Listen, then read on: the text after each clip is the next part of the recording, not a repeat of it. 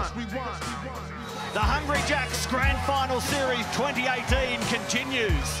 David Andersen, the 37-year-old veteran.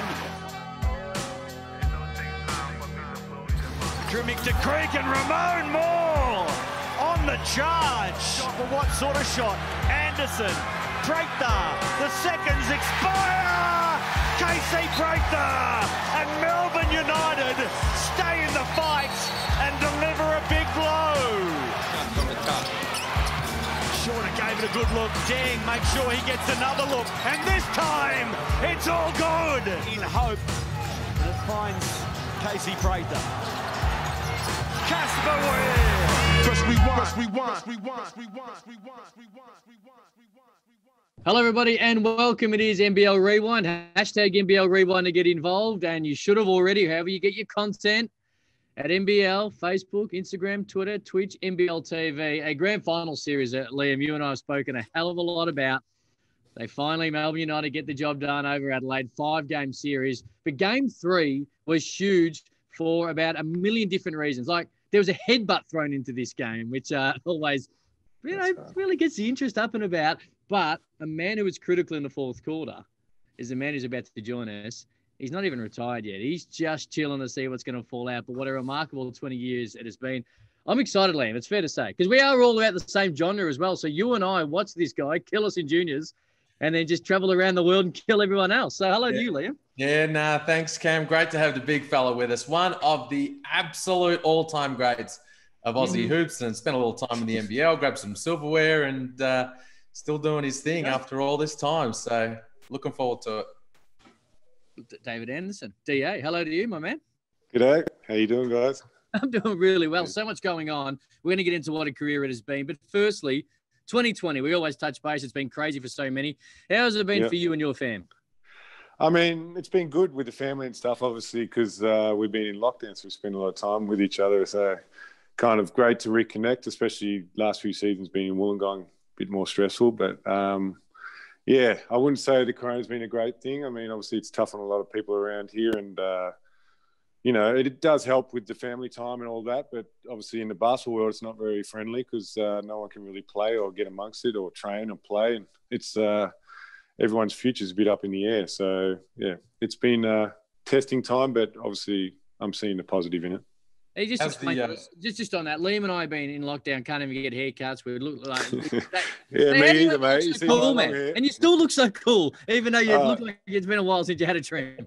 yeah, it's been a long time. I've grown it long out. You know, it's uh, going with the Viking bun. So um, it's been yeah, it's been hard. Hard. It's testing. I mean, whoop, lost my camera.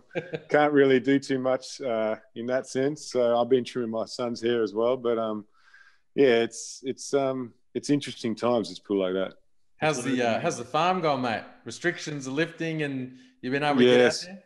Yeah, it's tough. I mean, obviously, I run a big business out there, so I've been uh, fortunate to be able to get out and, and control that, put a lot of energy into that because uh, obviously basketball world shut down. So, but um, yeah, that's been a big thing for me trying to get that business operating, and I've been doing good. So it's um, yeah, it's wet. Let's put it like that. It's been a wet season.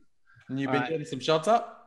Yes, I have. Unfortunately, you can't get down to local Frankston Stadium where I'd love to be shooting hoops, but uh, fortunately here I've got a little hoop set up outside, which I um, get on with my little man Arlo and do some shots and uh, yeah, try and keep a little bit of touch in the times we can. But everyone tells me it's a bit like riding a bike, and I feel like that. I go away from it for a couple months, and then I come back and yeah, start smacking three, so I it's no no problem.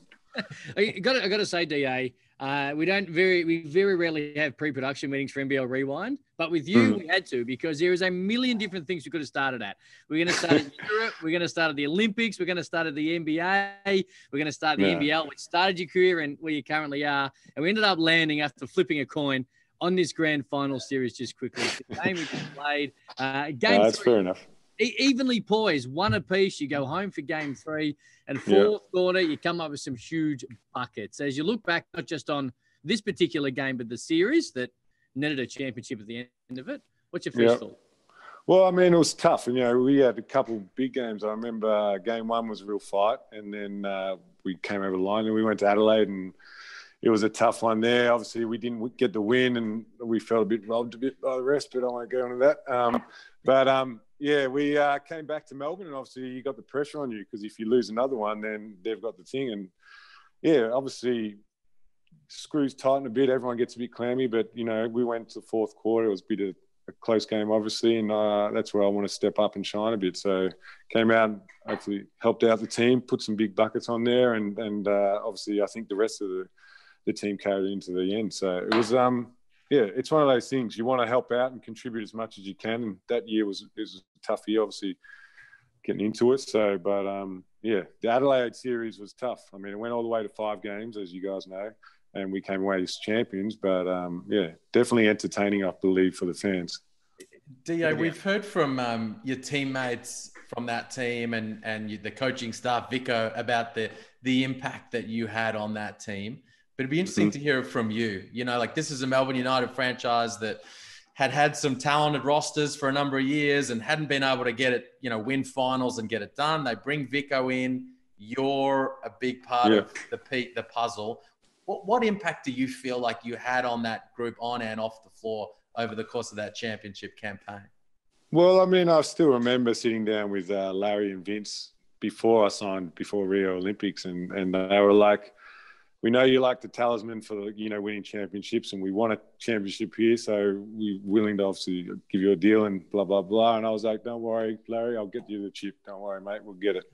and uh, and uh, yeah, it took obviously it took another season than than expected, but um, yeah, I feel like obviously in the team sport, a lot of it's culture and it's all of it's building and, and uh, obviously chemistry. You can have a very talented team, and I've been on very talented teams where we didn't win and didn't reach expectations. So that's uh, the big thing. And obviously, we did have a great team. We were very deep. We had a lot of good players, players that probably could have started and played more minutes on other teams. But we all clicked together really well, and there was a good, um, you know, belief in each other. I mean, we weren't all best mates off the floor or anything like that, but you know, part of it is we were all pros and we went about jobs, you know, every night. And Vico did a good job of making sure everyone was held accountable and and doing their work. But um, yeah, it just everything clicked really well. I thought that year, and and obviously the championship was uh, was the outcome of it. How big was it for you personally? Of course, to, to win everywhere around the world, but to come here to the NBL and, and get that NBL championship, how big was it just from a personal perspective?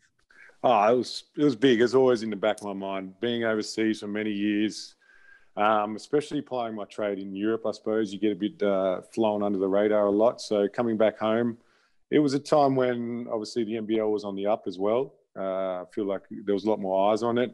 That's one of the reasons why I came back to Australia was to try and get the NBL moving in a better direction.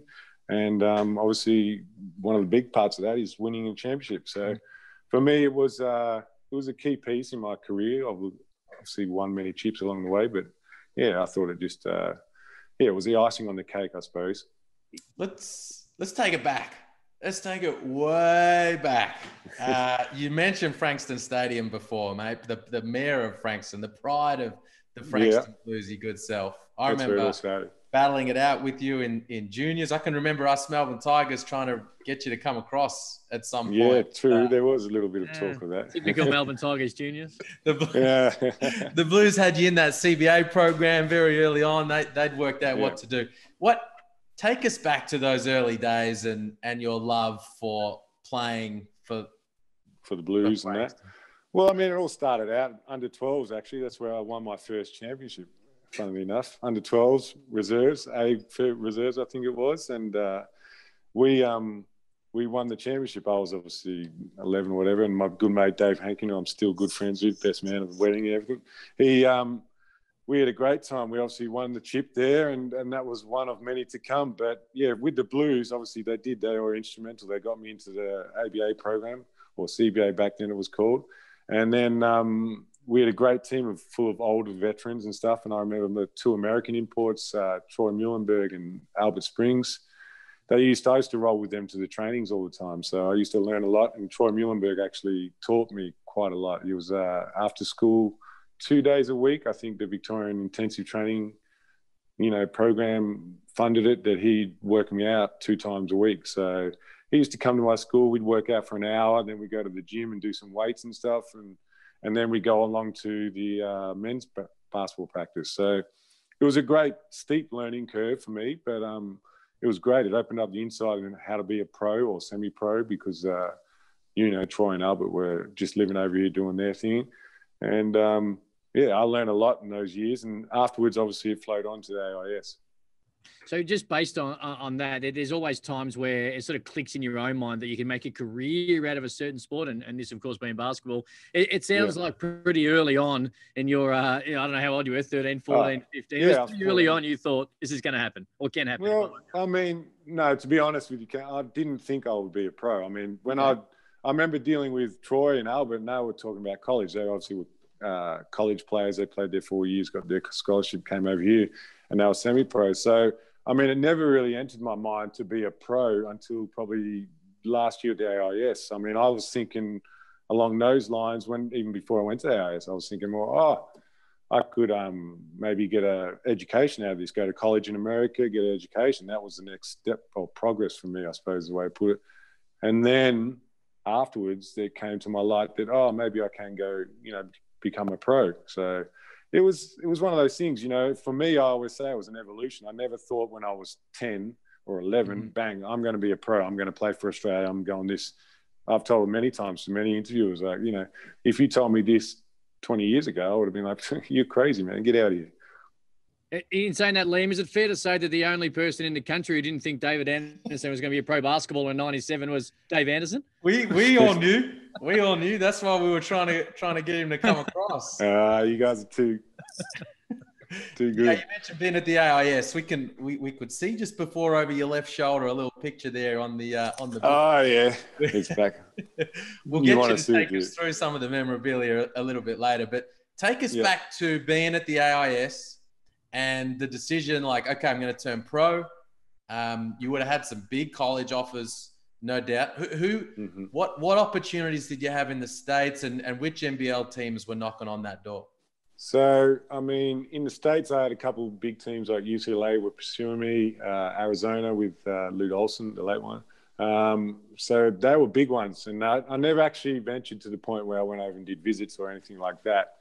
But um, I did uh, obviously speak with some of the NBL teams then because they were obviously more keen, and my parents and and I actually ended up settling on the Magic with Brian Goorjian back before that off season. They merged with the Giants, so it actually you know it all turned around and was it was an interesting, uh, obviously very quick learning curve about professional basketball then because I got squeezed out of the merger and then actually ended up going back to Wollongong, who were very interested in me at the start with Brendan Joyce and the Hawks. They were keen. They put a great offer on the table for me before that, but I decided to come home. But then, obviously, as things moved around, uh, ended up back there for my first year as a pro. But but in terms of college, it was pursued for me. But I got to admit, I wasn't much of an academic. I was very uh, rebellious in that sense. But in saying that, I've learned a lot over my years and, and probably a bit more smarter in that sense and hopefully influence my children that way. But um, no, it was uh,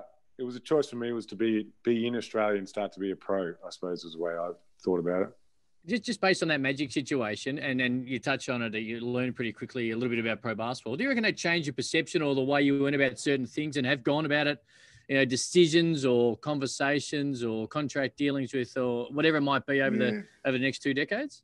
A little bit. I mean, obviously, you gotta you gotta put things in perspective a bit. You can't get too emotional about it or anything like that. I mean, it was uh, it was a bit of a shock, and you know, kind of threw a spanner in the works. But but you kind of realise that things work out in the long run, and um, you've just got to make the most out of every opportunity. So for me, it, it, kind of yeah, it threw me off. It meant I wasn't going to be at home. I was moving further away from home after living in the AIS for two and a half years. I was moving further to Wollongong, but I've got a great support. Like my family is very supportive. My brothers and sisters, obviously now my wife and kids and everything. But um, it's uh, it's one of those things you just got to deal with your what what they throw at you. And, and I felt I did a good job of you know just moving on with it and and finding the best opportunity, which was in Wollongong. Who'd they go with? Was it was it your uh, your was, mate from the state teams, Brad Sheridan? Uh, Rowdy was a part of it. Yep, he was already thing. But the bigs were, I think it was Wheeler and Pepper. Pepper came across from the Giants. Wheeler was already with the Magic, and I think there was obviously, I think Rono, Ronaldson. I'm not sure. It's going back a bit. You're rattling my brains here with the memories. but so yeah, it was uh, a, interesting. you make the move over to Europe, 18 years old, to head over to, to Bologna. Yeah. Let me ask this before we get stuck into your, your career over in Europe. How big has your Danish heritage been for you and your basketball career? Well, it's helped a lot. I mean, obviously, my father's Danish. He's uh, he came across. Well, funny story. My mum and my dad, they're both European heritage. My mum's English. My father's Danish. They met in the middle of Australia at a roadhouse, which is pretty unheard of. And then uh, kicked it off and ended up going back to Europe, getting married, and decided to return to Australia to settle down with the family. And obviously, I'm one of five kids, so quite a big family. But yeah, and in Denmark, my father is one of 12 kids. So mm. I have over 100, and I think there's 145 cousins and, you know, second cousins, that kind of thing in in the northern parts of Denmark, in near Aalborg. And uh, I've been there quite a few times. Obviously now a lot more than a lot of my brothers and sisters. But yeah, it was. It came about obviously when the European Union came to fruition. To oh, you know, and people were talking about it and how you can obviously do a lot more in Europe if you have a, a passport. So, so we pursued that while I was at Wollongong with the help of my auntie, who, who's been like a, probably a second mum to me. And um, yeah, it came to fruition. I got the Danish passport, and when I was signed over in in Italy, it helps you. You play like a local over there essentially, and you have coverage for healthcare and all that kind of stuff. So it was a big part, and I'm proud to say that I'm Danish. And it was funny because the first thing, as soon as they saw that I petitioned for a passport and I talked about signing in Bologna, the Danish national team came and called straight away and was like, "Oh, you going to sign? Are you going to play with us? We need you. You know, we got uh, we're trying to get to the European Championships and all this." And I was like, uh, "I've already played for Australia in the junior levels and everything, so I'm by national right, I'm Australian by basketball." So which is probably better because obviously I wouldn't have seen any Olympics. I don't feel. Thank goodness Denmark. for that. yeah. yeah. All Boomers fans are extremely happy. That was the, the situation that played out. Just, just so, just on that. So you're at Wollongong and, and you're going through the process you touch on. Uh, yeah. You talk about the fact of you know mention you're moving a little. You're in Canberra now. You're moving to Wollongong, a little further away from Melbourne. Italy's a long way away. So how does this all? How does this all work out? What is it? You know, is it was it financially motivated? Was it the fact to try new things? Was it just the the opportunity to play at a, at a club like uh, the ones that were chasing you? Bologna. Well, it's, it's all of the above. Came. Yep. It's like um, obviously financially they offered me, I believe, it was huge. It was like a two million dollar deal for over four four or five years back then, which was massive. And it was Kinder Bologna, which is mm-hmm. it was the premier team in Europe or EuroLeague even back then. So so it was like a, it was a huge opportunity, and um, obviously me, I've been traveling with the junior teams quite a bit because I've been doing Albert Schweitzer tournament under 16s mm-hmm. when I was mm-hmm. bottom age, under 18s, top age. With the junior team, I travelled even during the Wollongong, my first year in Wollongong. It was uh, so I was quite you know open to culture and stuff like that. So, but in saying that, moving to Italy is daunting to live professionally and be there in that scenario. So I was fortunate. Like I said, my family is very supportive. My brother Stuart, who uh, one year older than me, grew up playing basketball against him, obviously, and playing blues with him and everything. He he said he'd he'd come across and live with me, kind of like. I bet he did. Yeah. so the the team worked out a little salary for him. We we incorporated into the contract. So and uh, basically, yeah, I had very good agents. yeah, bloody oath still, still with the same agent as we speak. So Kenny Grant and Leon Rose, they were very good. They helped me out a lot. So so we got him a little bit of money to live with me, a monthly kind of thing, and then he just basically. It was a sounding board for me to talk to and, and to work out with and, and do things with, and obviously um, helped me adjust to the life over there. So it was um, it was an interesting time, and and obviously he just I suppose, acclimatized me a bit easier to to the Italian way of life. I helped him out. Obviously, we went out, we had a lot of good funds together and good times, and um, yeah, obviously, I think that helped me a lot in my adjustments. What are your most treasured memories of those years in Bologna? You're winning Euro leagues. You're oh, what an amazing way to start a, a career. It was it was crazy. I mean, obviously, the first year I was there, it was a bit of um, a letdown, I suppose. It was a learning curve for me, and I was quite. I got a lot of opportunity, um, but we had a stacked team. Everyone thought we were going to win the EuroLeague and be like better than anything. I mean, supporter cup, but we kind of disappointed a bit, and the coach was obviously a bit testing times for that. But then the next year, we actually got new ownership, and they went another level. We got a younger team and uh, some real good pieces around it, and we ended up winning. That was the Kings Cup they call the the um, we won the Italian league, the Euro League after the Italian league. Italian Cup, sorry, is the mid-season competition. Then we won the Euro League, and then we won the Italian league. So we won everything you could possibly win that year. And um, one of the craziest memories I have is when we won the Euro League. Basically, it was a five-game series because back then it was the first year of the Euro League, and we went to it was against Tau Victoria, which uh, they were one of the other Premier teams from Spain, and we basically went all the way five games. We lost the first one even I think, and then two games. Then we won two in a row. Then we lost the uh, fourth one away. Came back to Bologna for game five, and ended up winning. Like you know, it was a close game, eight points or something in the end. But the thing I remember most was literally the siren went and the crowd just rushed the floor. Like it was like a it was like a riot almost. Like, you know, literally I was on the bench when the siren went and we all just ran for the locker room, past the scorer's board into the locker room. And within like 30 seconds, they were up cutting the nets down. The fans were jumping on the rings. Chants were going crazy. Flares were getting set off. And basically, like within, I think it was about five minutes later, Marko Jaric walks in and um, one of the guards, he was on the floor when the siren went. He came back in literally in just his jockstrap. He had like, and his shoes on. They took his jersey off him, his shorts, everything. It was crazy. They were just going nuts and they were just chanting away. And we were in the locker room just celebrating and popping champagne and, and uh, going nuts. And they're just singing outside our windows because they're all like, it's in case it's a stadium and they're just chanting all the songs and we're throwing out like socks through the windows and they're going nuts every time we give them a sock or something like that.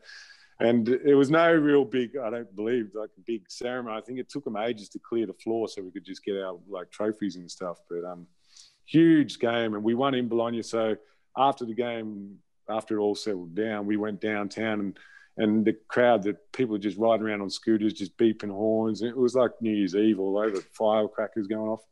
Did this surprise you? Like, like I know once you've been over there for a couple of seasons, you, you see the the fanatical, passionate fans. Mm. But, it, but but when you first left the NBL and went over there, did you have any idea this is what it could be like? I mean, I knew I'd seen it a little bit, like you know, playing national team a little bit, mm-hmm. but not to this level. I mean, Bologna was huge. There was a rivalry there that was like, you know, it's crazy. You got Fortitudo and Kinder Bologna and they were like the two biggest budgets when I got to Europe. So that was like massive. We beat them in the semi-finals to go to the finals that year, and um, it was yeah, it was phenomenal. So the you get used to that a bit. They used to chant at me. I think I've said this before. They used to call me Cangurino di Merda at, at Fortitudo though. So every time I catch the ball, you know, you had 6,000 fans just screaming Cangurino di Merda which means like kangaroo, piece of shit kangaroo, fuck you kind of thing. So I was like, you know, thing. But then you hit a jump shot and they all go quiet, and that makes you feel good.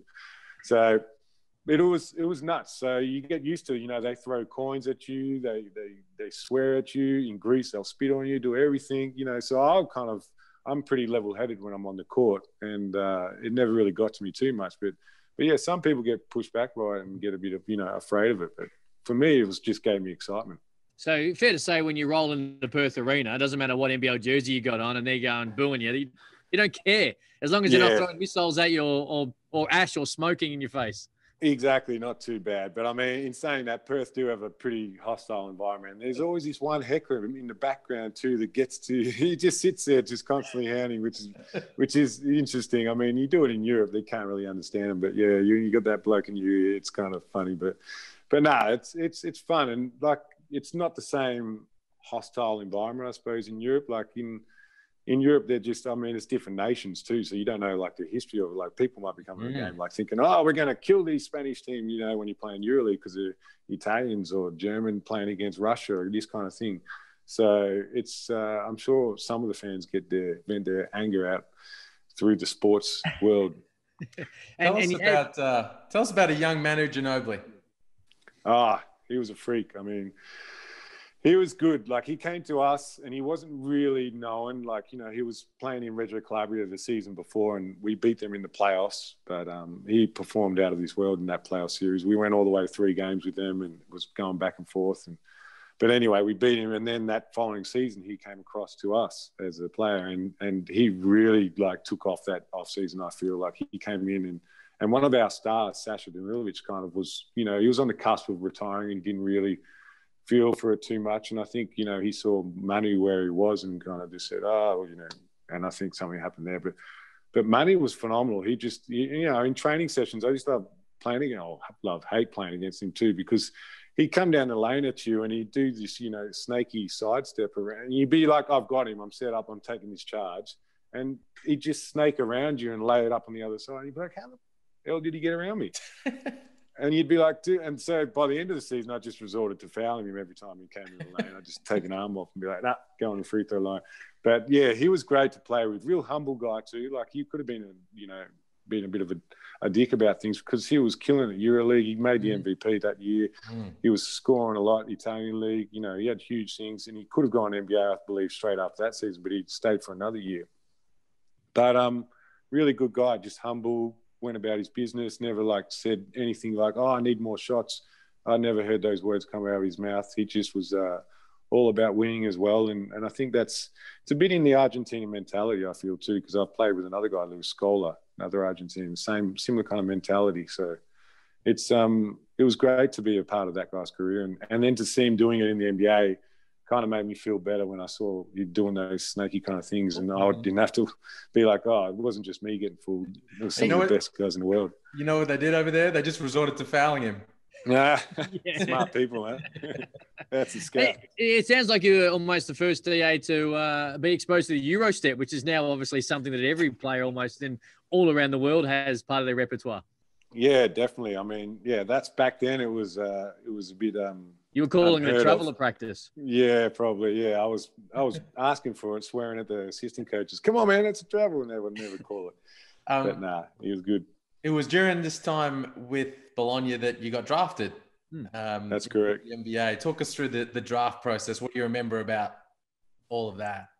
Well, I mean, I was so I was always on the draft radar. I remember hearing about it um, that I was high, pretty high up and blah blah blah. But obviously, I didn't get that high. Obviously, is what I wanted to. But I played. Obviously, I was 2002. I got drafted, so I was at 22, which is the eligible age you have to wait for.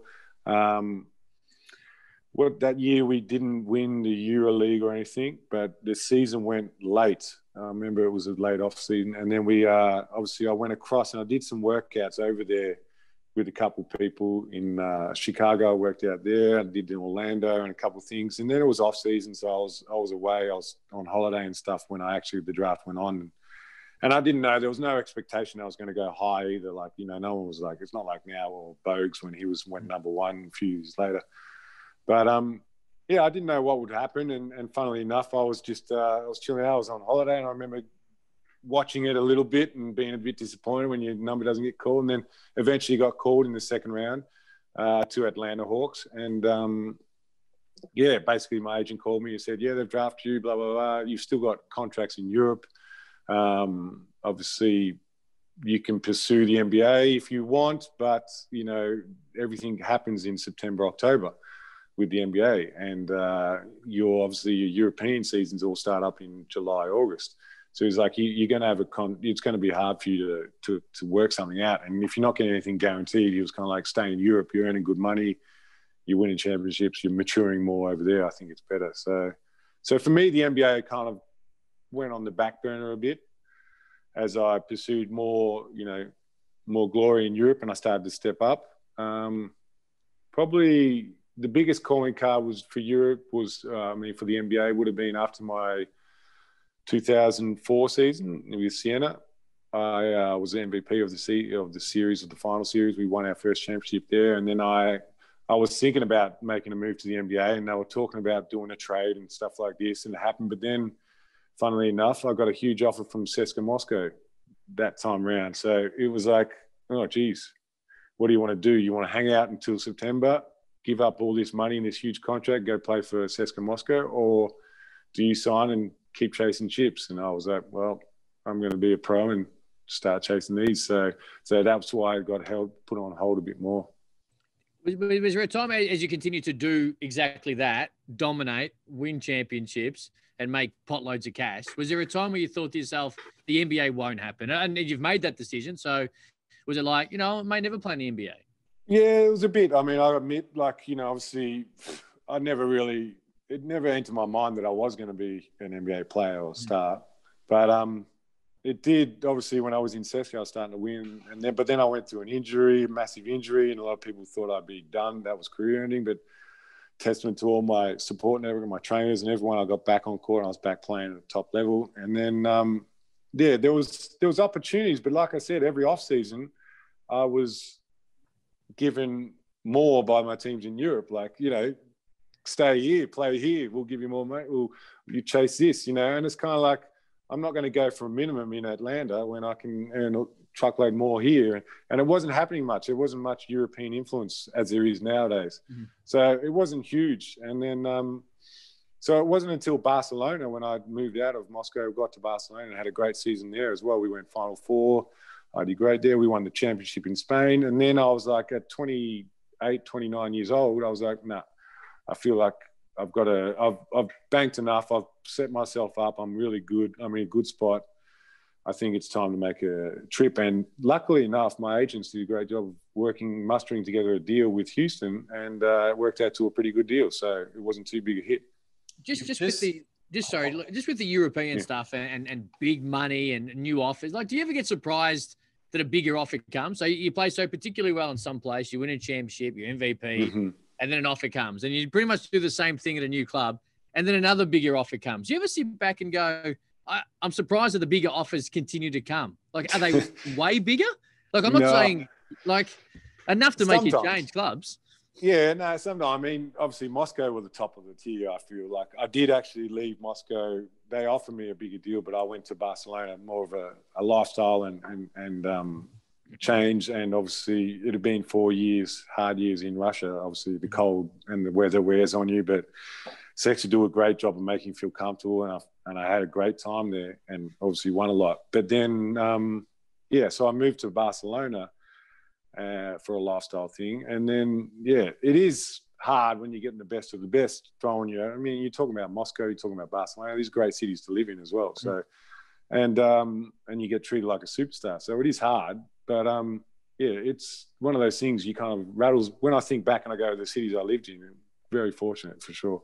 This is this is part of the reason why you are the most underappreciated mm-hmm. out and out absolute champion of Australian basketball because you're talking about your time playing for CSKA Moscow, one of the biggest clubs in the entire world. Mm-hmm. And you say lines like obviously we won a lot. You won you won Euro League, you won two Euro Leagues in those couple of those yeah. four years. You won domestic title and domestic yes. cup after title after cup. Yeah. What um miss one. So so underappreciated the amount of winning you did over the course of the career, but let's let's zero in on this time with with Moscow because all EuroLeague first team in your first season yep, there. That was first and then, year. And then those two EuroLeague titles in 06, 08. What are your overriding memories of playing for that massive club? Well, I mean, it was it's great. Like I said, they're probably one of the most professional clubs in Europe by far, and like they compare to an NBA team. I'll put it like that. Um, yeah, it's very not easy to play for them either because there's so much pressure to win. Like in my first year there, like I say, I was I was EuroLeague All Star five, I think, and then um, we had the pressure of the Final Four was in Moscow that year, so they wanted to win it all real bad, and and we didn't lose games. Like I think we went on the biggest pro streak ever. It was like 35 games leading up to Christmas or something like this and we were just smashing teams left, right, and center, and, and it was great. You know, we're having a ball. But um, then fast forward to the actual final four, we come to the final four was in Moscow, and we lost in the semi final to Tau Vitoria, who we'd beaten. I've beaten previously and it was just um, it was devastating. Obviously, the whole team, the whole outlook, everything changed. Like that's talking about pressure in Europe. That's big time pressure. When you play for Moscow and there's a Final Four in your home city, it was like everything was on the line. And and unfortunately, it was one of those things we didn't get to play in. It was a different arena to what we played in all year.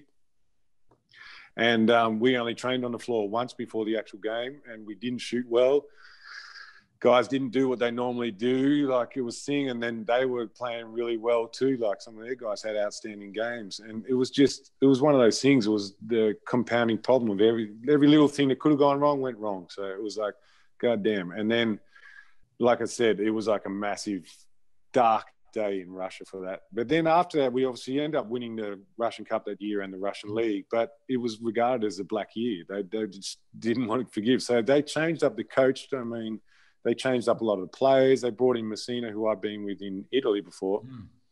And then they brought in a couple other players who I'd actually played with too. And um, yeah, the whole squad changed around. And then they we end up turning around the next year. We win everything. So so you get these sways and stuff like that. And it's it's hard, you know, with that team because obviously you lose a couple games and everyone's on you pretty hard. But in saying that, that taught me a lot of, uh, I suppose, focus and commitment to, to winning, and, and you start to build up good habits. And obviously, winning is a habit. You got to learn all the little intricate things and remain focused all the time because you can get carried away. You can party too much. You can do too many things.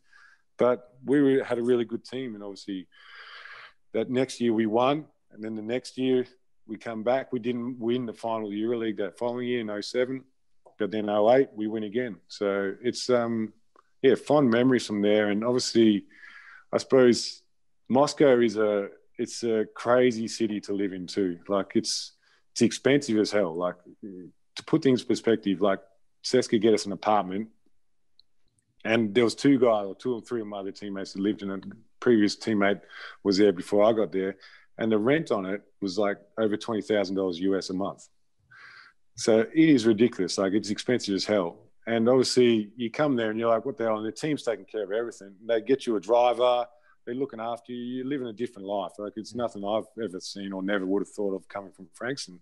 And then you go there and it's it's it's crazy. So and you're getting looked after. You go to the fancy restaurants. But it was funny. One of my friends, his American counterpart, who did a lot of dealings in in Russia with the mining and stuff like that. He's from Duke University, and he said it's like the way he explains it to Americans. It's like Miami, LA, New York all rolled into one. Mm. and it's a, it's a bizarre world. I mean, it's very cold. That's what wears on you, the winter and all that. Russian people can be a bit standoffish until you get to know them, and then they're very open and very friendly. But um, yeah, CSKA as a team were uh, amazing for me, and, and obviously I'm very grateful. And I hope to go back there one day in the near future and, and see them, and obviously catch a game of theirs because I see I still follow them. They're winning Euro leagues. They're still doing great things. But um, for me, the life there was uh, it was something to something to treasure. And there's a ton of stories I can tell, but obviously we don't have too much time. We do. We have plenty of time. We'll see uh, well, that's what I, I, told these guys. I said this to a lot of journalists back in the day. I said, you guys should have come over to Europe and visited me, or like on a paid thing from Basketball Australia or something. Mm. I don't know, and just spent a week, even at the Final Fours, because it was like it'll blow a lot of people's minds if they mm. saw the the things and the different lifestyle of the EuroLeague and the, and the and the style you live in those cities.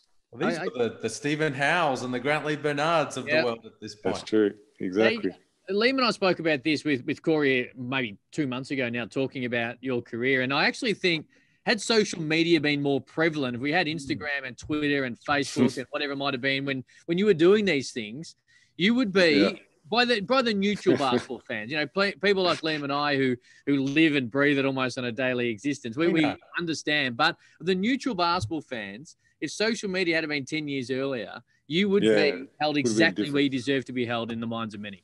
It's probably true. I mean, I'm not huge on the social media thing. I mean, it is hard. It's a different era, I suppose, for people nowadays. I mean, everything's so unprivatized. Everything's mm-hmm. in people's faces, and you you pretty much thrown into the whole thing, which is it's not a bad thing, but it is obviously different type of uh, type of confidence for me. You know, back then it was it was totally different. So, but I was fortunate enough. I mean, I know no social media and all that, but when I talk to friends and I tell them stories and stuff, and they get amazed by it, and I was fortunate enough to share it with a lot of my family members. They always flew over and, and visited me. Not so many in Moscow because they were a bit scared.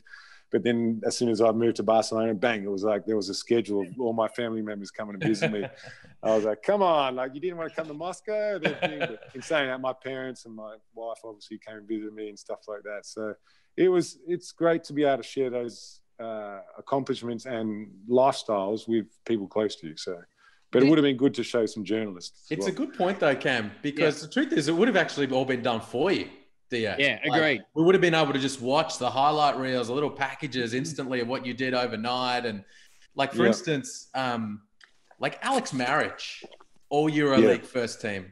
He was killing like, People here don't appreciate how big time that is and how, right. how big he was because like you he was doing it over there in what was kind of the darkness for us back here oh he was huge i was like yeah that's why i could not believe how much yeah, he didn't get nowhere near the love that he should have he, he won champions i remember him winning euroleague mm. with panathinaikos and, and he got like you know not even a few few lines in the in the paper and stuff i'm like man do people know he just won the freaking EuroLeague? Like that's the second best league in the world.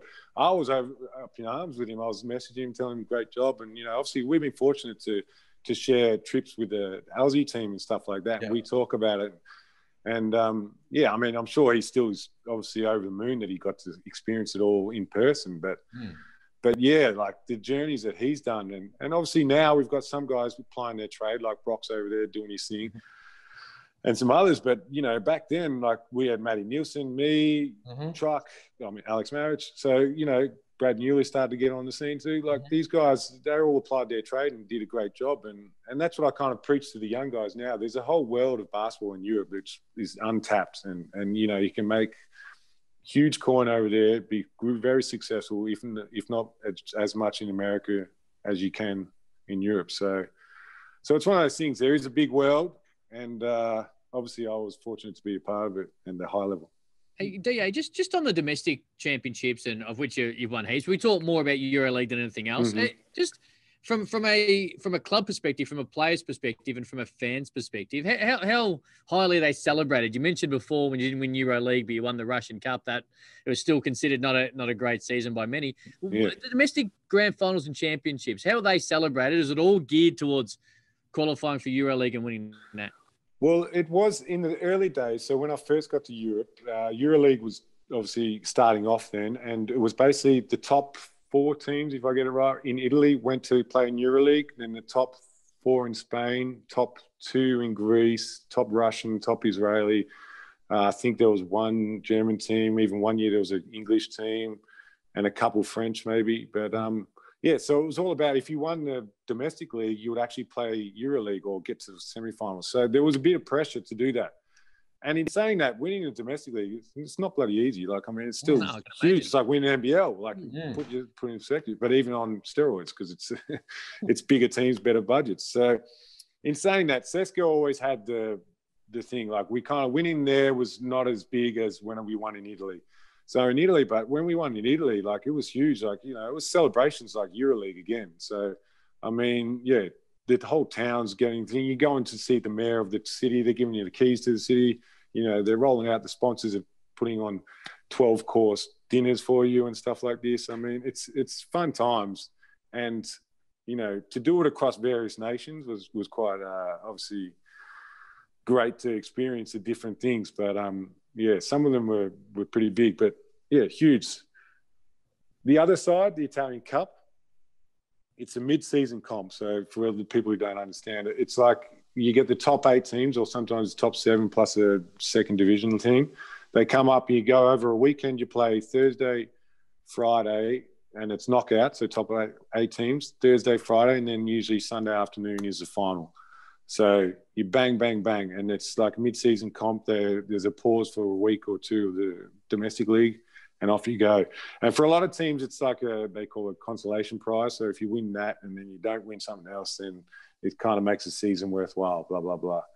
But um, yeah, we won. Now, I've won a few of those, and it, it's not granted, it's not huge, but I mean, it's still it was great fun, and, and it's knocked out everything, and you you have a big party at the end of it, and you enjoy it, and um, yeah, I remember in Italy one year, I was in Forlì, which is south of Bologna, and we went to Milano Marittimo as a team, which is on the coast of near Bologna, and, and the, they rented out a really nice restaurant. We were all popping bottles of champagne because yeah, you got to think we're going back to work in four or five days' time mm-hmm. to chase the EuroLeague, so it's not like you get carried away. But but if a lower level team wins it, for them it's like yeah, it's like hallelujah, we saved the saved the day kind of thing. So but fortunately, yeah, we won a few of those as well. Just on that, and I think the NBL, we're going back to the '90s, had a mid midweek cup or a midweek comp for a year. Yeah, or two. Do, do, might have been similar format. yeah, maybe not going into NBL 21 with uh, all the uncertainty, but down to like two, three years away when we're all back to some type of normality. Would you like to see that in the NBL? Would you like to see something mid-season trial, something like that? I think it's a good thing. I mean, it creates a bit of interest, and, and I mean, everyone loves a celebration. So you know, if you can get something, and like it creates a little pause in the season. I think they did it also a little around like having that pause and stuff like that. So, and um, yeah, it's a celebration. So, and you can incorporate, like I said, in some leagues they incorporated the second division because the second Yes. division in Europe is quite strong. It's a strong thing because you get the interchanging, like footy, football in, or soccer in Europe. They have two teams go up, one team goes down. This kind of constant interchanging. So in second division, the teams are actually not too bad. So they one of the top team played in the in the cup. So it was top seven teams plus a cup. So you know it was uh, a good opportunity for those second division teams to bang, you know, chip off one a win a win against a top division team. So, and I think it creates more excitement, something to build towards. I mean, because it gets a bit of a bit of a slug in the middle of the season because um, you're playing so much and it's Europe and it's winter and you know it gets a bit of a grind and then all of a sudden come January February you got this cup to look forward to. Hmm. And for instance, in France, it's called the Leaders Cup, which is all done at Disney World Hmm. up near Paris. So it wasn't the best. They put they construct this huge tent, and you play on this floor, and and uh, you go in there, and it's the same top eighteen or seventeen plus one, and um, it's done over a weekend. It's called Leaders Cup, and you get a lot of obviously international, all the agents, all the like you know, you know the NBA agents are coming to look at all the talent that's there as well, and you get everyone in the same weekend in the same room. So it's quite a good uh, good way to bring everyone together, and and it makes something to celebrate too. So we ended up. I won one of those with uh, who was that with Strasbourg or something? I can't remember. So yeah, it was. we yeah, it's a great thing to be around, and obviously have fun with it. You mentioned the um, the move to Barcelona and everyone coming over to visit. Um, my man Tommy Greer tells a story about how, or a bunch of stories about coming to visit you that that year. It Yes. was it was the year before you went to the NBA. Um, Yeah. ACB champs, got a bunch of great teammates. Juan Carlos Navarro, fun team to Mhm. be a part of. But he tells stories about you visiting you. You roll up to the club, you just park right out the front. He said you ran Barcelona. I wouldn't say that. Juan Carlos Navarro, he runs Barcelona. He's a man. He's the mayor of the place. Like that guy is like he he. You need to do an interview with him one day if you can, because he was the man. Like for him to do what he did, and um, I ran on him because he was a great teammate too, real good guy. Um, he could score and do all the greats, and and for him to stay in that club for as long as he did and win as much as he did, uh, he was another guy who flew under the radar because of obviously different era and and stuff like that. But you know, one of the greats. But no, Barcelona was a great city, and and like I said, we did get a lot of visitors, and Tommy was one of them. He came over with a mate, and um, yeah, I took him out for dinner. We went out for dinner a couple of times, him, my missus, and stuff. And and yeah, we did go to the club, and yeah, probably did. We get to get looked after. We park out front and walk in because they all know who you are. You're football club Barcelona. So I mean, Right. in saying that, football players, I don't even know. They went out a little bit, but they're so scrutinised that they couldn't probably let their hair down as much as we do as basketballers. So yeah, we'd be out a bit. We had a youthful team and used to get amongst it. But the the crazy thing in Spain and Barcelona, we'd play the games at like ten o'clock at night, Yeah. nine thirty at night. So you finish up at eleven thirty. You go to dinner. You're not going to the club till two a.m. Right.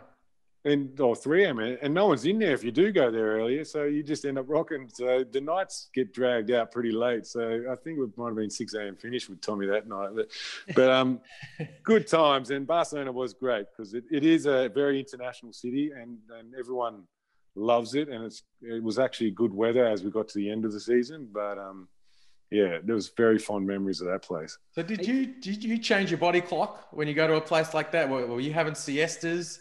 Did you just like immerse yourself in whatever the culture was of the that you were in? I'm a very chameleon type person. I can Yeah. blend into any culture, which is probably one of my reasons why I'm being successful is Yeah. my ability to do that. But yeah, I, when I got to Italy, I was all about the siestas and, and everything. I mean, saying that growing up, we still had siestas at AIS all the time, like when you could. Skip class and have a little snooze and stuff like that.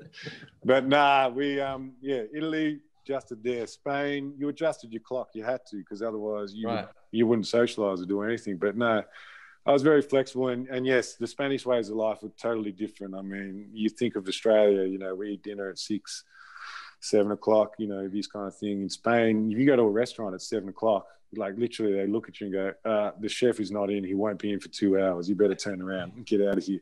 So that was a, is a different adjustment, but but I was fine. I used to adjust fine to it, and the food saying that. So Hey, I just mentioned it just quickly. I don't think a lot of people realize, but the football club, the basketball club, it's all one club in Yes. Europe, isn't it? Like people, I don't think Yeah. a lot of people realize that. So you, you roll into No. say Barcelona, and you've got oh, there's the football crew over there doing their thing, the women's football, our basketball. It, it's it's all one big club, isn't it? it is definitely like Football Club Barcelona. So the big stadium, Camp Nou, is where we played our games too. So we have our basketball stadium, which we shared with um, handball and I think it was volleyball and some other. So and then Camp Nou, where they played the football games, is right there, literally attached. So so we were all involved. I mean, we didn't really socialize too much with the soccer team or anything like that. But there was a couple of times we flew back on the planes with them from Madrid. We had a cup in Madrid, and they were playing Real Madrid, and uh, huge game. And then they were on their private plane, which was huge. Like their plane was like a big seven four seven. We flew back into Barcelona. They gave us some seats at the back of the plane because uh, Messi and that were all up front. But but they were all really cool actually. When you meet them, like you know, they're these huge profiles and and everyone's a bit daunted by him. But then you go up, you meet him, you know, you shake, I shook Messi's hand and said hello, and you know, he's just a tiny little fella too. But you know, this is when they're great, and a couple of their guys are good. They they have good sense of humor. Piquero, I remember him just getting the microphone and doing some singing on the flame back and stuff like that. So it's it's fun to be around the uh, different codes of sport, I suppose, and see how they act and stuff because they're usually really good people. It's fair to say that you and Messi probably never hit the gym together. Is that that, that true? 'Cause Nah, not seems like a guy- yeah. Like me, gym's not something he looks big on. Nah, he's probably not. But even in saying that, he probably does do a bit. He's, He certainly probably doing his footwork drills and stuff like true. that. Because damn, he's fast. So yeah, but no, Im- it was good times. Yeah, um, it was. You lost me. Am I there? yeah. You got Yeah, me? I'm got you. Yeah. Yeah. Da, um, it was at this point you made the move to the NBA. Daryl Morey and Yeah. the Rockets took less money to hit. You're playing for CSKA. You're winning Euro leagues. You're playing for Barcelona. Why? Why? How did they convince you to make that move? Why did you make that move at that point? Well, like I said previously, like I, I was comfortable financially. Obviously, I've, I've been quite astute with my money. I've obviously testament to my parents' upbringing. They were very uh, astute with the money and told me invest it all. Don't blow it like other basketballs and buy all these Porsches and, and, and you know spend all the money on the fancy things. Invest it all, get into property, do the right thing, and and I did that. So I was comfortable, especially once I got to Barcelona. I was like, nah, it's all right. And they did offer me more money to go back the following year because I had a great year. I remember seeing the general manager coming out of a concert in June, and there'd already been talk about what I was going to do. And he was like, "Oh, we want you back. You know, we want you back. We're going to win EuroLeague next year because we went to Final Four, but we didn't win. We're going to win EuroLeague next year. We've got bigger budget. We're going to give thing." I was like, "Yeah, yeah, it's okay. Talk to my agent. We'll see." Blah blah blah. And it turned out it didn't eventuate, but my agents did a good job in getting a, a three-year deal with Houston Rockets, and and I was like, my mentally, I was like, if I don't go now, I'm 29. Uh, I don't think I'll ever go. And I was like, it was always in my mind. I always I remember back to when I was young. I wrote down on my, you know, wardrobe when I was a young fella. I'll, one day I will play in the NBA. In big text text on the thing, and and you know that always stuck with me, and I can still see it in my mind when I think about it. And I go, I've got to give it a shot. I'm comfortable financially. I've won ample amounts of championships over here. Let's go give it a shot. And and so when the opportunity came, I was like, yep, let's do it. And uh, yeah, the rest was history. I jumped on board with Houston, and uh, it was kind of like helping out because uh, Yao Ming obviously had an injury that year, and so it was all go. Then it was a different different tact, and you know, seeing the NBA was yeah, it's a different world. How did the um, the game on the floor, the the style of play in the NBA, the style of playing in Europe, how did you find the adjustment, and which did you feel was suiting you better? Well, to be honest, probably European style was more suited to my game. I mean, NBA style is very, I suppose, more athletic and more um, less tactics, more individualized. You know, playing a lot more thing, and then when someone gets hot, they keep going there. Whereas Europe, they're they're very strategy, you know, kind of based. And because you have such, you know, deeper rosters, there's a bit more weight in the ball too. I call it like you know, if you miss a shot, you know, in the NBA, you miss one, you keep shooting. That's a good shot. Keep shooting. Bang, bang, bang. You, even you go like, you know, one of ten or something. They're like, nah, that's a good shot. Keep shooting. Whereas in Europe, you go one of three, one of four, then the coach is like, nah, you're putting that away. You're not thinking, otherwise you're coming out. Mm. So there's a lot more weight on the ball, which I didn't mind because I, I thrive in pressure situations a bit. And when the game's online, probably for me, it's, it's a bigger, I like big games. So in that sense, America was a different, different tact. So you kind of had to adjust to it and bigger bodies, more athletic, harder style. But, you know, I felt like I could have adjusted better. And obviously, funny as it turns out, like big guys stretch fours and stretch fives are all the all the buzz now. So I was probably ten years ahead of my time to to play NBA, but because we had bigger bodies back then, which are like Shaqs and stuff like that. So it was a different different tack. But but I felt I adjusted pretty well, and I did pretty good job in Houston. But obviously, um, yeah, it was things. It was a different style of play. Did you enjoy it? Oh, like, immensely. everything everything you dreamt of when you when you're writing things on your wardrobe? Is it everything you thought it would be? Yeah, I mean it was it was different. I mean the so in Europe it's a bit more of a dictatorship, I suppose. Like they you go on the road, you've got to eat with the team, you've got to be at the shoot around, you've got this meeting here, you've got to do that. Everything's done with the team in you know, without regard. And if you're not, you get reprimanded pretty harshly. America, it's all individual. Like players go eat by themselves or with a little crew. You know, everything's done individually. Like you, it's all on the. You're like a true pro. I call it. You got you got to do everything yourself. You eat your own food. You choose where you want to eat, what you want to do, and and obviously you just got to rock up to the game pretty much and, and be ready. You can go out night before a game if you want. You can do whatever you want. You know, day of the game. So it was very different in that sense culturally. But but for me, it was good. I had some great teammates in Houston as well. Like I had Luis Scola, who was a European pedigree. I mean, Argentinian, but he played in Europe for most of his career. And then Shane Battier was great for me, acclimatizing. I remember Chase, he was a rookie, Chase Budinger. And we used to always hang out on the road trips and stuff like that. So it was fun. And it's the hype of the NBA is is is crazy. Like everyone's you know, every game's pretty much sellouts and, and everyone loves it. It's a big spectacle. You know, you got the high flying dunks and all that kind of stuff. It's and it is good even when you're on the bench. Like you got the best seat in the crowd, so you can watch them going at it firsthand. And you see the superstars. Obviously, when you're playing, you forget who they are and you just go at them. But when you put it in perspective, you're like, oh yeah, these are the, the big time ones that you've looked up to all your life. So it is. It does live up to the hype and uh, it's fun. It's a fun league to be around. Did you have a moment where you had that NBA logo on your chest and you reflected back to to those dreams as a little kid? Like you're he you're 28, 29, you had an mm. amazing career already, winning Euro leagues. You're already yeah. a two-time Olympian, but did you have a moment where you sort of spoke to your younger self and said, "I did it"? yeah, there's still moments, but in my defend. Like I did, I had a lot of those moments, and and uh, and I'm very fortunate. Like a lot of the times, I'll be sitting around with family members and going over the accolades and thinking about. It and I go, shit, yeah, this is during it. So I'm going, yeah. But I've always been one of those people who just grabs at opportunities and tries to seize a moment and keep going. You know, never be shy to raise the bar a bit more. So. Hmm which is probably like some would say an illness because you're never going to feel like you're happy. But no, I always had moments where I sat still and went, yeah, no, it's been good and great. And, and a lot of those moments did come along too when I faced like career ending injuries. I'd be like, oh shit, like, you know, this could be the end. You know, I broke my ankle in Russia mm. and I thought that was the end. I thought I ruptured my knee at the same time. That was a horrific injury in Real Madrid. But and those are the times when you kind of look back in the retrospect and go, oh shit, in hindsight, you go, well, you've done well, Dave. You know, don't be sad because of this. You still, you know, you've achieved a lot. But yeah, in the NBA, there was a couple moments you, you sit down and you go, yeah, geez, we're, we're going at it like playing in LA. And for, you know, you're like, oh, geez, here we go. And then winning a game in LA. That's one of my big ones. I remember beating the Lakers in LA, and I had a huge game, like 17 points and eight boards.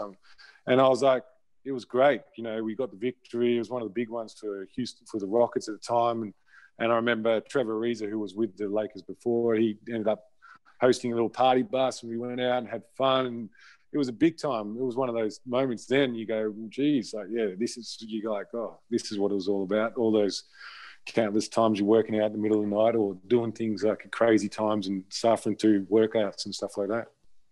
A party bus. Yes. Explain that. Take us on to the It's like Trevor party Ariza bus. party You bus. Party bus. It's like 20. Yeah, yeah, but take I know what a Cam and I know what a party bus Yeah, is. I know, but I, Take us onto the Yeah. Trevor Ariza party bus after you've just beaten the Lakers. and also I Yeah, like it was- I like the idea that Trevor Ariza after he won the game was just like, let's just get a party bus and there's a bus just waiting for you there. I, I like that idea. He's big time. He's big Yeah, time. true. He was big time. I mean, very good teammate, like great guy. So he, um, yeah, it was just one of those things. He was coming back, so it wasn't like it was after the game. We think we played kind of early because you play earlier in, in America too, because everything shuts earlier. So so it was just after the game. We all got back to the hotel, and Trev was like, "You sent out a Uh, chat to everyone, message everyone, if you want to come, you know, we'll go to the restaurant, and then we'll, I've got a bus, so we don't have to worry about you know driving or getting taxis, things like that and then we'll go to the clubs after it. And so it was cool. It was like, oh, all right, shoot, I'm in. I was a young fella, and like even most of this team came, and everyone was there. So it was great to celebrate the game, and then you know just have some fun and and go out and get amongst it. So, but yeah, like a normal kind of thing, like people would do probably for bachelor parties, things like that kind of Yeah. thing. But but Trevor just scrounged on up out of nowhere Yeah, because well, I guess he's he's got the connections and stuff out there. See- that's the thing. You're right. Bachelor parties, barks hands in. That, that, that, that, that's like six months of preparation that goes into these things. Yeah, true. Not the old, oh, we just beat the Lakers. Uh, I got this 40 seater. Let's do this. Love it. yeah, exactly. That's it. how they that's how they roll, but out there. So yeah, the Dave, boys. a few a few years ago, I wrote um, I wrote something about like the, the ten best NBA games by by Australians. Now, to be honest, most of them have been blown out of the water in the last couple of years by, Yeah. Ben and Joe and Yeah, Paddy and those yeah. guys have been and Baynesy. Uh, it's a different era now. Like it's it's great and it's awesome for Australian basketball. I wrote about one night of yours for the Rockets against the Jazz. I think 18 Ah, yeah. seven, three of three Yeah. from long range. Do you was that where does that one Is think- that your best NBA game, do you think? Yeah, I believe I think that was in Houston that Mm. that game, if I remember right. No, I mean, yeah, they were a formidable team back then too. Like the Jazz were good, so and we got a big win. And obviously, yeah, when you come out and you're hitting, because it's a deep three point line too. So for me, it was an adjustment learning how to shoot the NBA three from Europe. Like Europe, this is going back a bit too, so it was even closer. It was a it was an adjustment. So you know, yeah, had a couple big threes and and came out with a big game. And obviously, for me, yeah, you remember those ones and and it's like that's when you feel like you belong a bit, I suppose. Once you have one of those games.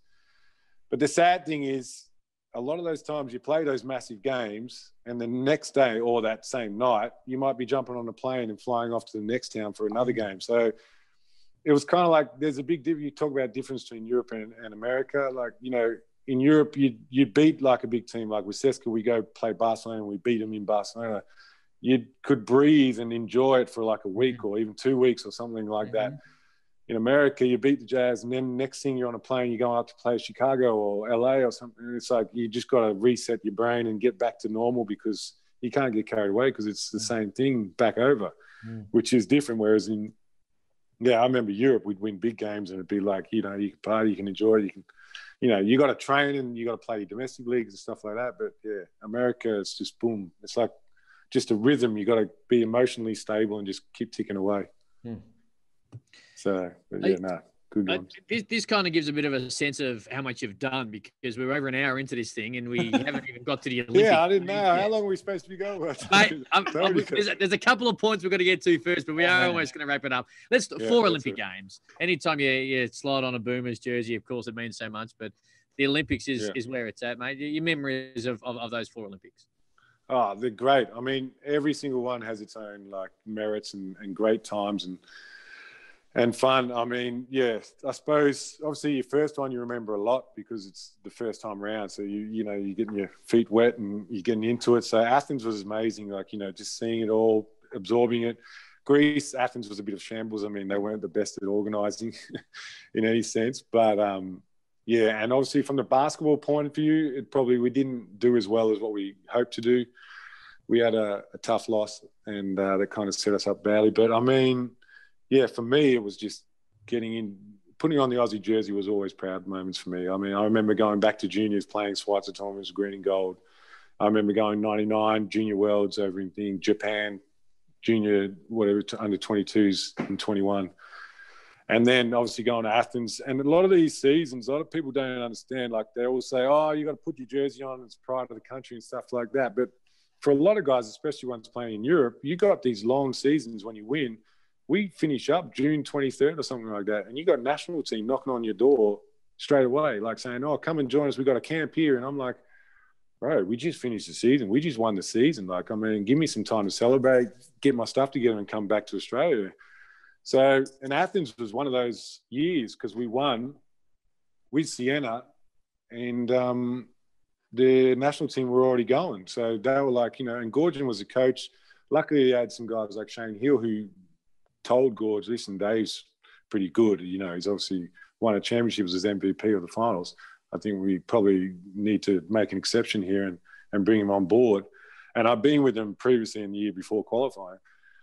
And then, um, yeah, so I met up with the team in Europe before the actual everything started. So it was like this the sacrifice you give of your body and everything like to be a part of the Olympics is quite, you know, hard and everything like that. But but it's definitely something I treasured. Athens was probably the one, obviously, the first time around. But in saying that, London was very special in its own right because uh, well organised and probably one of the most uh, probably enjoyable Olympic experiences because we had this uh, like a shopping centre next door, so your family could come and we could meet up there, and it was quite good to share with the close people close to you and everything like that. Um, but Rio, obviously, coming that close to a medal it was heartbreaking and, and i'm sure you guys saw all the interviews and everything that went around it and we were so dedicated and so focused on it with the culture everything was on point and and to come that close was real heartbreaking but you know it was uh, it was a great journey with those guys those comrades that we played with. It was um, fun but but yeah green and gold is definitely a thing that sticks out and probably opportunities along my professional career came about because of what i did with national teams which is obviously i'm grateful for what um, what what what are your top three Boomers wins of your career? What's the podium? Ooh, yeah, you put me on the spot here a bit. I mean, probably not not necessarily the best, but your favorite. Yeah, I mean, obviously you want to remember some of the good times. Obviously, uh, going starting from the closest Boomers wins, probably um, in Rio, I would say probably beating France because I remember Tony Parker was the boss of our team at that time. I was playing with ASVEL, and there was a couple teammates who were also on that team. So I, I had a bet with him, and and uh, that was a big win for us because it set mm. us up quite well in that in the whole qualification thing. So that was a high one, and I played pretty well against that. And so it was good times. Um, probably some of the even the qual like the one in Melbourne, I believe I remember yeah. the qualifier, and, and it was it was a tough game because Bogues went down, so mm-hmm. with a bad back, and I stepped up, and you know, and I can still be reprimanded by because I put a few up, and Dre was felt I was forcing it a bit and wasn't performing when I came on in the first half, and reprimanded me a little bit in the locker room, but you know, and, and the pressure was on because if we lost, we had to mm. go to New Zealand. It was it was like it was all on the line in front of a sold out I think it was Rod Laver Arena. Mm-hmm. So it was tough. But then I came in second half and, and, started killing it and ended up like level top scorer with Patty and, and we obviously beat them. And then we went and it was a great victory and it was in Melbourne in front of home fans. And I had like, geez, I remember trying to organise the tickets for all my friends that day. It was like a hundred of them, and, and, it was just a night. It was a bit of a nightmare, but but yeah, that was a huge one. That sticks out a little bit in my mind. God, I'm trying to think of other ones. That, yeah, There'd be a lot. I've just got to like rack the brain for a while. you know what? We'll leave it at two because we are, we know there are a lot. We know there are a yeah. lot. There's a lot. I mean, I'm trying to think. Beijing, yeah, yeah, no, nothing's really sticking out in my mind. I've got to yeah, think about. Hey, uh, you're not retired. Mm. No, not yet. 2020's been Nothing's. obviously- You mentioned it early in limbo, but like, where where are you, are you conversations? Is there discussions? Is there possibilities? Where is it when it comes to uh, the future? Uh, not too much. I mean, obviously, when Goorj was in charge of Hawks for a bit, there was a bit of chat around that. Um, I was working out here with them, but then they've since then I think they've full the roster and everything. And then this whole coronavirus throwing everything in limbo. So, and to be honest, like thinking about it, like the way the scenarios might play out, what might happen with the NBL, I'm not sure. Like you know, it's different steps in your life. Obviously, as you get older, things take priorities and stuff like that. But but for me at the moment, it's just about ticking the body over in doing what we can when we're obviously locked down and and keeping everything you know just body kind of in a decent shape. And i'm i'm actually might be starting doing a little bit of workouts with the phoenix coming up because uh good mate simon he's a coach over there. He, he said you can come over and, and get tick your body over if you want you know see what you know you never know opportunities might pop up. So for me i'm not you know crying about if I don't. I'm not worried if I do. You know, it's more about just ticking along and, and kind of enjoying. I want to be involved in the basketball game a lot. You know, as with any kind of role, whether that's with the national team, whether it's with an NBL team or with the NBL as an ambassador, kind of thing like that. I mean, I want to keep promoting the sport. I feel like basketball in Australia has really taken off from when I came back to Australia in 16, and we're getting great amounts of fans everyone talks about a lot more. We're getting more media coverage, thanks to obviously you guys as well. Um, and it's just it's going to a whole new level. And and Larry has done a great job, and I always applaud him, and I mention him many times because for what he's done in the NBL, I remember going through all the the crap and all through the, the mud, I suppose is the way to put it. And now it's come back out, and we're hopefully I'm looking forward to it bouncing back. So I will be involved. I'm not sure what capacity yet. Good. But for me, as in playing wise, I'll be around. Hopefully, you never know. I can still still uh, ride the bike. Like they say, it's just like getting back on the bike. So for me, I will see what happens. But um, yeah, it's just a matter of waiting to see what opportunities knock, as always. I'm going to say it right now, Cam. DA Yeah. is going to be a game changing mid season signing by someone as an injury replacement. We know the man is a championship waiting Yep. to happen, Mm-hmm. and he's going to be ready to. Uh, now, see, this is what happens, DA. He gets excited about something, kicks his microphone out. It's a, it's a, it's a constant thing. That's He- all it's, it's It's the perfect. thing. This is the perfect point. That's Someone's going to go down. Someone's Yep. got to. DA's going to come in. He's going to have big minutes in the fourth quarter of a grand final series game. I'm calling it right now. Yeah. Liam's Well, great for him. He's great for my mental state right now. He's making me feel good. So Hey, Yeah, I love it. whatever happens, mate, it has been an absolute pleasure watching you. As much as a pleasure to chat to you today, mate. And and good luck for the future, whatever it might be, mate. And we'll see you soon. no worries, Cam. Good stuff. David Andersen, superstar. Hashtag NBL Rewind. If you haven't watched the game yet, make sure you check it out. Get involved. What a time. Liam Santamaria. I will see you next week on NBL Overtime. I'll see you.